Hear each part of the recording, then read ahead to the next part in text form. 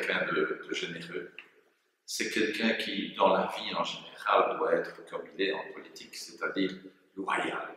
Vous savez, ça c'est important, la loyauté, hein, parce que en politique, euh, c'est pas toujours euh, évident.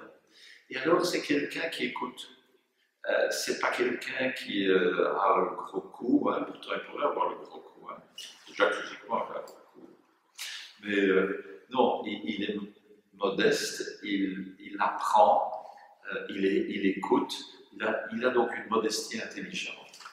Ben D'abord, ce qui est bien, c'est qu'on on, sent bien quand on est avec lui je veux dire, c'est pas quelqu'un qui est dans l'intrigue tout le temps comme certains, etc. C'est quelqu'un qui se livre ouvertement euh, et, et, donc il apporte certainement dans les relations entre politiques, chez nous comme avec d'autres politiques peut-être, il apporte certainement cet apaisement dans les relations, etc. C'est pas quelqu'un d'agressif, c'est quelqu'un qui sait se faire respecter évidemment, mais c'est vrai quelqu'un d'agressif. Donc c'est un plaisir. Je dis toujours, hein, si on faisait de la politique avec des gens qu'on n'aime pas, on ne prendrait aucun plaisir à faire la politique. Lui se sert de la politique, des fonctions qu'il a, de l'influence positive qu'il peut avoir pour mener à bien des projets.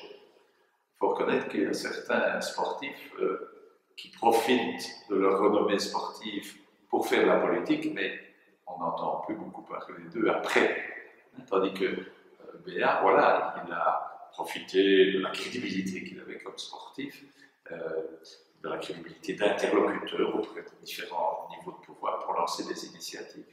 Ah, il est très préoccupé, comme nous le sommes tous, mais euh, il le fait avec beaucoup d'enthousiasme. Ça, c'est s'intéresser euh, à l'avenir des jeunes. Et euh, l'avenir des jeunes, ça se bâtit euh, l'école, ça se bâtit dans la famille, mais ça se bâtit aussi dans les loisirs, dans le sport notamment.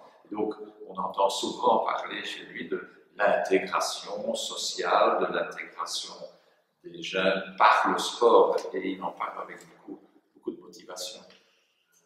Béa, il donne, le, bon exemple, et euh, il est dans la vie comme il est dans le sport, c'est-à-dire quelqu'un d'authentique.